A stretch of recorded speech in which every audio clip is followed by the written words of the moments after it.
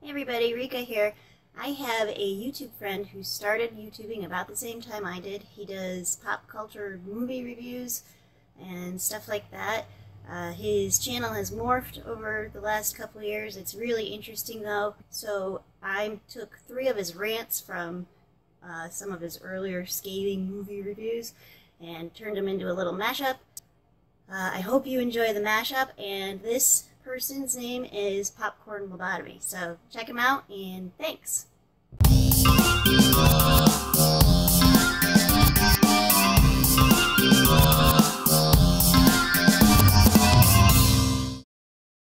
But I guess that's the point, isn't it? It's not supposed to make sense. It's not supposed to be a fun experience. With all the eye symbolism, checkerboard floors, and other Illuminati references, you hardly have to be Fritz Springmeier to realize that these movies are created not just for box office success, but with other nefarious purposes in mind.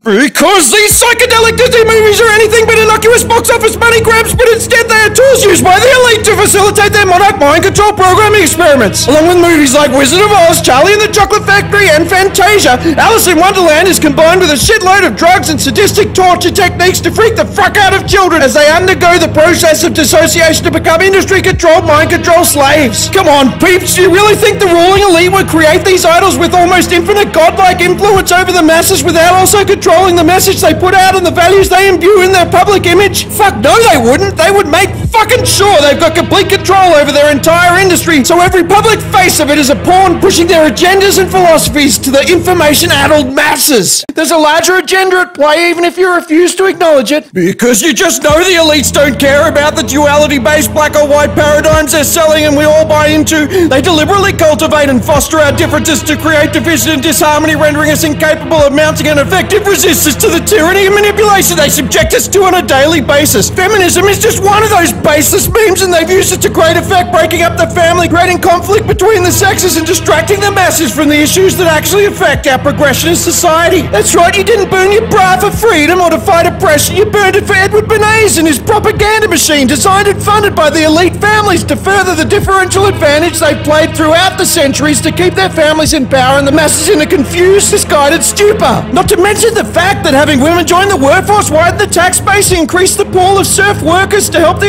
elite classes continue their domination of the planet for their own financial benefit, all the while continuing to indoctrinate our kids to accept their authority while we're distracted fighting amongst ourselves over who left the toilet seat up or whose turn it is to set the VCR to record House of Cards.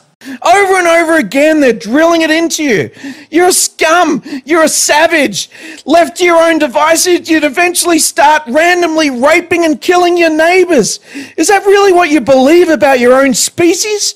Is it what you believe about yourself? And even if you are convinced of that, don't you think we ought to strive for something better? Humans are amazing beautiful creatures, and I'll be damned if I let anyone convince me we're a planet wide virus worthy of extermination. We're not cattle to be culled. It's the rich psychopaths at the top that plan the wars and condition us to become mindless consumers, depressed. Uncreative and productive only for the corporate machine that has sprung from the embers of their bullshit propaganda.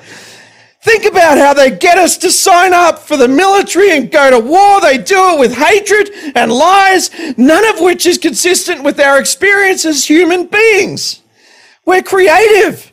Do you understand what that means? We create stuff. Isn't that something only gods are supposed to do? You know who can't create? The psychopathic oligarchs and technocrats who dominate our world and our media through covert means with their inbred family trees and syphilitic brained lack of empathy. Look into it. This is who is running the show. They're not interdimensional reptiles or evil aliens. Hell, they're not even a cohesive, organized group. But I can understand why people subscribe to that belief system because they are different from us. They have evolved without natural diversity and their minds are sick, unable to feel human emotion or empathy.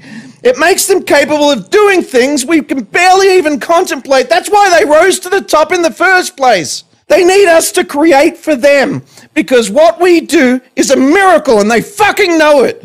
Human beings take the little bits of light being miraculously to us by our sun and we rearrange and manifest that energy into the world in whatever way we see fit. We can make something amazing, full of love, community, and beauty. So, yes, the elites control and manipulate us into making a world that advantages them.